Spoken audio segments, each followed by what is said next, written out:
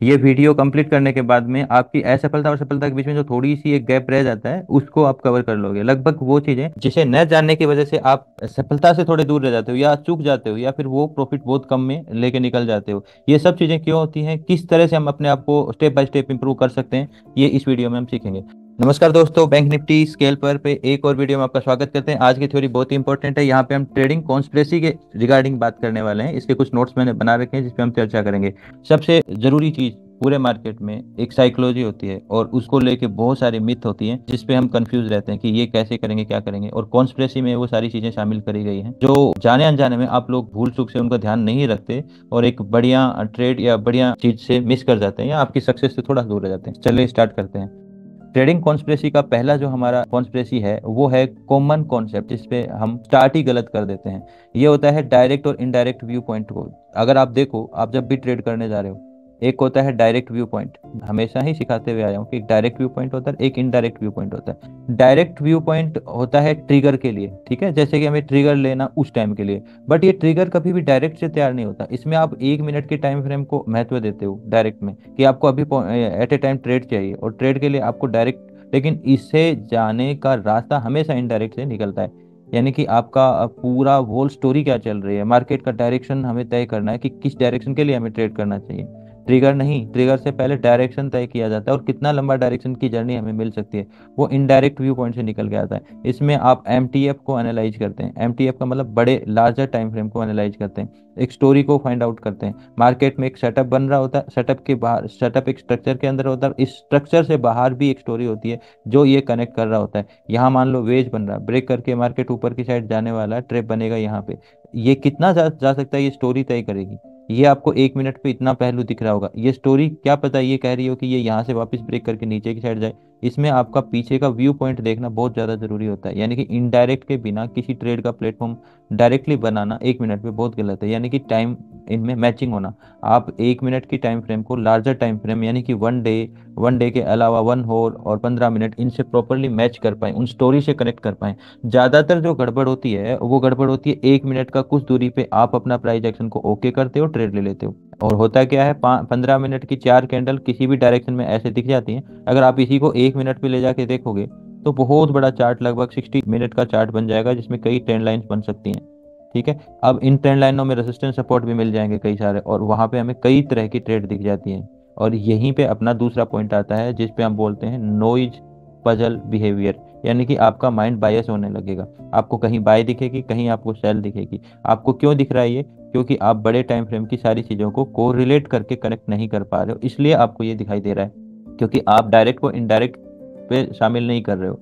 ठीक है? Direct vision को इनडायरेक्ट के साथ कनेक्ट नहीं कर रहे हो। डायरेक्ट में सिर्फ़ ट्रिगर आता है कि हमें ट्रिगर करना है। आपको वहाँ पे डायरेक्शन तय नहीं करना। डायरेक्शन तय करना होगा इनडायरेक्ट वे से, यानी कि आपको M T F view point से। अगर M T F view point को मैच करते हुए आप डायरेक्ट पास जाते हो, जैसे मान लो कि अभी कोई मार्केट में हमें ट्रेड फाइंड करनी जो भी चल रहा है। तो हमें पूरी स्टोरी देखनी होगी। यहाँ सिर्फ़ और सिर्फ़ हमें ये नहीं देखना कि मार्केट कहाँ जा रहा है। नीचे जा रहा है, हमें नीचे के लिए ट्रेड करना है, ऊपर के लिए। वो सारी स्टोरी देखने के बाद आपको पता चलता है। आप इसमें एक दिन का बिहेवियर भी देखोगे तो आपको पता चलेगा कि ये बहुत ज़्यादा यहाँ पे प्रेशर में है। बहुत ज़्यादा प्रेशर में है और ऊपर एक लेवल है जो अप्रोच कर चुका है। जैसे कि वीकली यहीं से आप मार्केट रिजेक्ट कर रहा है। यहाँ पे ऐसा देखने में भी मिल रहा है कि डे के अंदर डे की इंश्योरेंस प्रीवियस डे की अभी अभी जस्ट पकड़ी है मार्केट ने। तो ये आपको कब दिखाई दिया? जब आपने ये वाला पॉइंट जो अभी चल रहा है मार्केट कि ये आपको तब दिखाई देता है जब आप इस चार्ट में M T F one day का यूज़ करते हो। और यहीं पे आके फिर आपको लगता है हाँ यहाँ पे डे इंश्योरेंस आ रही है। तो मे भी मार्केट एक क्लिक ऊपर की साइड दे सकता है। आप कितना दे सकता है, ये चीज़ आप वहाँ के पैटर्न बेसिस पे देख सकते हो। तो यहाँ पे आता है, जो कॉमनली मिस्टेक रहती है ज़्यादातर लोगों की, वो रहती है कि डायरेक्ट व्यू पॉइंट और इनडायरेक्ट व्यू पॉइंट यानी बड़ी टाइम फ्रेम के साथ छोटी टाइम फ्रेम को मर्ज कर पाना। ये नहीं होता, ये बड़ी गलती है। दूसरा बायस माइंडसेट क्रिएट करता है। एक मिनट के चार्ट पे बहुत ज़्यादा नॉइज़ होगी। जितने बड़े टाइम फ्रेम के चार्ट के पास जाओगे, आपकी नॉइज़ घटती जाएगी। आपको एक दिन का चार्ट नॉइज़ नहीं देगा। एक घंटे का, पंद्रह मिनट का चार्ट ज़्यादा नॉइज़ नहीं देगा। बहुत रेयर ही नॉइज़ होगी या होगी ही नहीं। एक मिनट के चार्ट पे आपको हर टाइम नॉइज़ दिखेगी। कभी ऊपर की ट्रेड कभी नीचे की ट्रेड बायस नेचर माइंडसेट बनाने में वो बड़ा हेल्पफुल है। और हम मोर देन 95 परसेंट टाइम उसी पे बिताते हैं। और इसी वजह से हम उसके पूरा पूरा हम उसमें बाउंड रहते हैं। और यही हमारे नुकसान का कारण बनता है। ये कॉन्स्परेसी को सुधारना होगा। ये हो गया अपना पहला। दूसरा पॉइंट आता है कैंडल बिहेवियर को लेकर हमेशा एक कैंडल का बिहेवियर कैसा है, वो उसकी कॉन्स्परेसी उसका बिहेवियर उसकी साइकोलॉजी आपको समझ में आना चाहिए। जैसे बहुत सारी कैंडल्स हैं, जैसे हम क्यूआरटी की बात करते हैं, एक हैमर बनता है, उसके ऊपर मार्केट क्लोज करता है तो ये क्यूआरटी इसकी इंडिविजुअली अपनी एक भूमिका है कि ये कहता है एक बायर्स को इन्फ्लुएंस करता है कि बाय करो। हम इसके पीछे की साइकोलॉजी की नहीं, समझ नहीं रखते हैं कि विदाउट साइकोलॉजी अगर हम इसको ट्रेड करेंगे तो हम बाइंग कर जाएँगे। अगर मुझे ये बाय भी करना है प्लेस भी अच्छा है, चीज़ें भी अच्छी है तो मुझे इसको थोड़ा सा रिट्रेस यानी कि सी एच एफ़ प्लेस पे बाई करना चाहिए। ये डायरेक्टली बाई नहीं करना चाहिए, यहाँ से मार्केट पलट भी सकता है अगर सिचुएशन लेकिन अगर इसके फेवर में ही रहने वाला है तो आपको इसका फिफ्टी परसेंट का रिट्रेसमेंट यानी कि सी एच एफ़ एरिया के ऊपर बाइंग करनी चाहिए। तो हमें उन कैंडल्स की साइकोलॉजी रीड करनी चाहिए, जिससे कि हम अपने स्टॉप लॉस को छोटा कर सकें और समझ सकें, क्योंकि इसका बेस्ट प्लेस यहाँ रुकना ही होगा। अगली कैंडल यहाँ आके रुकती है तो ठीक है, और डायरेक्टली क्रॉस कर गई तो हमारे लिए ट्रेड कभी बनी ही नहीं, और यहाँ से रिवर्स हो जाएगा मार्केट ठीक है? ये आ गया आपका कैंडल बिहेवियर कॉन्स्परेसी इसमें बहुत तरह की कॉन्स्परेसियाँ रहती हैं कैंडल बिहेवियर को लेके। कोई क्लाइमेक्स कैंडल बन जाती है, कोई क्लाइमेक्स मूव की एंडिंग के अंदर अच्छे अच्छे नोट्स के ऊपर, यानी कि मार्केट के एम अटैचमेंट एक रेसिस्टेंस सपोर्ट के ऊपर मार्केट ऐसी कैंडल्स क्रिएट कर रहा है तो डायरेक्टली उठने की कोशिश करे जो ना सक्सेस रहती है तो उसमें भी यहाँ पे आके कोशिश करता, फिर मार्केट उसको ब्रेक करके तो वहाँ पे Q R T C H F psychology के साथ अटैच करना बहुत ज़्यादा ज़रूरी है। और इस साइकोलॉजी में तीन चीज़ें होती है, देखो, एक होती है स्टोरी ठीक है, और एक होता है सेटअप और एक होता है साइकोलॉजी ठीक है। ज़्यादातर जो कॉमन मिस्टेक होती है, लोग सिर्फ़ इसको फॉलो कर रहे हैं। यानी कि एक मिनट के कुछ दूरी पे आपकी स्टोरी बन जाती है, आपका सेटअप बन जाता है, आपकी साइकोलॉजी उसी में बिल्ड हो जाती है और चल पाती यहाँ पे सब चीज़ें नहीं बिल्ड होती, एक मिनट के कुछ ही दायरे में। यहाँ से अगर सेटअप की बात करें तो ये स्ट्रक्चर को लिए हुए होता है। साइकोलॉजी की बात करें तो एक मिनट का कुछ माहौल को लिए हुए होता है। और स्ट्रक्चर की बात करें तो एक एक स्ट्रक्चर पूरा सेटअप को लिए हुए होता है। और स्टोरी की बात करें तो पूरा का पूरा जितना चार्ट हमें एक दिन या पंद्रह मिनट, एक घंटे पे दिख रहा, वो सारा मिल के स्टोरी क्रिएट करता है, न कि एक मिनट। एक मिनट कभी भी स्टोरी क्रिएट नहीं कर पाता है। बड़े टाइम फ्रेम यानी कि इनडायरेक्ट व्यू पॉइंट से ही स्टोरी क्रिएट होगी। डायरेक्ट व्यू पॉइंट पे जाओगे तो सिर्फ़ साइकोलॉजी देखनी होगी। और वहाँ पे हमें ट्रिगर्स देखने होंगे। तो इन चीज़ों को शॉर्ट करते हुए, यानी कि स्टोरी को सेटअप के साथ और साइकोलॉजी के साथ, इस पर आप नब्बे परसेंट रहते हो, जबकि आपको इस पे पाँच सात परसेंट ही रहना है। आपको सेटअप और स्टोरी पे ज़्यादा रहना है। स्टोरी में भी साइकोलॉजी इन्वॉल्व होती है। बट क्या होता है कि ये बड़े टाइम फ्रेम या बड़े एमटीएफ वाले चार्ट्स के ऊपर की बेसिस की साइकोलॉजी रहती है, न कि एक मिनट की। एक मिनट की साइकोलॉजी रॉन्ग हो जाएगी, ज़्यादा अप्लाई करना यानी कि इसका पाँच परसेंट ही यूज़ होना चाहिए। ठीक है? तो ये ज़रूरी है।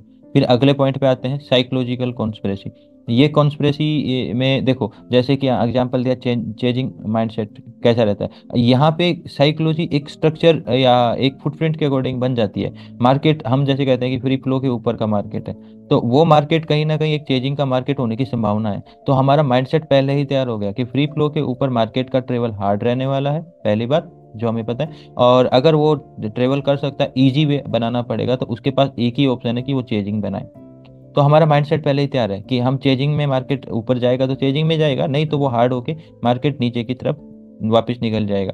तो जाने का रास्ता तैयार किया और कैसा? और कितना गैप अप हो, कितना नॉर्मल गैप अप हो, कितना गैप अप हो तो मार्केट ऊपर जाना ही जी होता है पोज होता है? मार्केट के डायरेक्शन को देखेगा तो बैरिश डायरेक्शन पोज का डायरेक्शन और बुलिश का डायरेक्शन इन तीनों डायरेक्शन में लगभग हम दो डायरेक्शन मार्केट के खुलते ही फुटप्रिंट के अकॉर्डिंग कंफर्म कर लेते हैं कि ये वाले दोनों रहने वाले हैं, या ये वाले दोनों रहने वाले हैं, या कम्प्लीटली मार्केट ये रखने वाला है, या कम्प्लीटली मार्केट ये रखने वाला या इसमें भी पहले प्रायोरिटी किसकी होगी कि पहले प्रायोरिटी मार्केट बुलिश जाए, फिर अगेन सेकेंड प्रायोरिटी आएगी कि पोज की। ये सब फुटप्रिंट से तय करते हैं। और ये तय करते हैं, इसमें ऑलरेडी साइकोलॉजी होती है, जिससे हमें तो हमारी तैयारी, हमारा फुटप्रिंट ये हमारी तैयारी है मार्केट में एंटर करने से पहले। अगर वो तैयार होता है तो आप बेटर करोगे, नहीं तो आप साइकोलॉजिकल कॉन्स्परेसी में फंस जाओगे। आपको नहीं पता, जैसे कि अभी मैं आपको डे के चार्ट पे लेके गया था और दिखाया था कि वहाँ डे इंश्योरेंस लागू हो रही है। तो डे इंश्योरेंस को डाइजेस्ट होना पड़ेगा नीचे जाने के लिए या फिर वहाँ से एक अच्छी ट्रेड आपको मिल जाएगी। तो वो प्लेस वो टेन परसेंट प्लेस जो ब्रेक करके नीचे गया, वो आपको हमेशा एक रिवर्सल ट्रेड देता है, जिसपे मैंने डे इंश्योरेंस का एक वीडियो बनाई रखा है। तो यहाँ पे एक आपको चाल मिलेगी मिलेगी। और वो चाल के अगेंस्ट में फिर मार्केट को देख। अगर उसके बाद भी मार्केट नीचे जाता है तो थ्री पी मिल के मार्केट बहुत तेज़ी से नीचे जाएगा। मतलब कि डे इंश्योरेंस पे आपको बढ़िया ट्रेड मिल जाती है। तो फुटप्रिंट हमारे लिए बहुत ज़्यादा इंपॉर्टेंट हो गया। तो यहाँ पे देखो मार्केट ग्रीड और फियर से ही चलता है। तो ग्रीड इम्पैक्ट एरिया जो हमारा वो तो ग्रीड को नेचर को लेगी मार्केट एक दिशा में तेज़ी से भाग रहा है। ऑलरेडी एक ग्रीड है, लोगों को एंट्री नहीं मिल रही तो मार्केट थोड़ा सा वहाँ पोज करता है और उसके बाद में एक इम्पैक्ट छोड़ता है। उसी इम्पैक्ट में वापिस से लोग ग्रीडी होकर छोटे एसल को देखते हुए घुस जाते हैं और यहाँ से एक इम्पैक्ट तो ये एक साइकोलॉजी पूरा पूरा हमने एक मेथड बनाया जिसको हम बोलते हैं जी और इसी के बेसिस पे हमें नीचे की रिटर्न की जर्नी मिल जाती है। तो मार्केट डायरेक्टली बुलिस से बैरिज नहीं होता। बीच में हाई एक्सपेक्टेड होना, यानी कि पीओसी क्रिएट करना रेंज मार्केट क्रिएट करता है। उस रेंज को हम समझते हैं और वहाँ मिल रही जीआईए को बेस्ट अपॉर्चुनिटी प्लेस देख के रिवर्सल की ट्रेड प्लान करते हैं। तो यहाँ पे भी आपका साइकोलॉजी तो हमने साइकोलॉजिकली सोल्व किया कि कैसे हम ग्रीड की सिचुएशन को संभालेंगे, कैसा इम्पेक्ट आएगा, ठीक है? और जहाँ मार्केट हाई एक्सपेक्टेड है हाई एक्सपेक्टेड को हम बोल सकते हैं कि एक्सट्रीम एक्सपेक्टिंग मार्केट में एक्सट्रीम एक्सपेक्टिंग की जा रही है कि मार्केट ऊपर या नीचे, क्योंकि ऑलरेडी मार्केट बहुत तेज़ी से चल रहा है। तो तेज़ी से चल रहा है, जहाँ उसका क्लाइमेक्स नेचर एंड होगा, वहाँ पोज की कंडीशन जाएगी।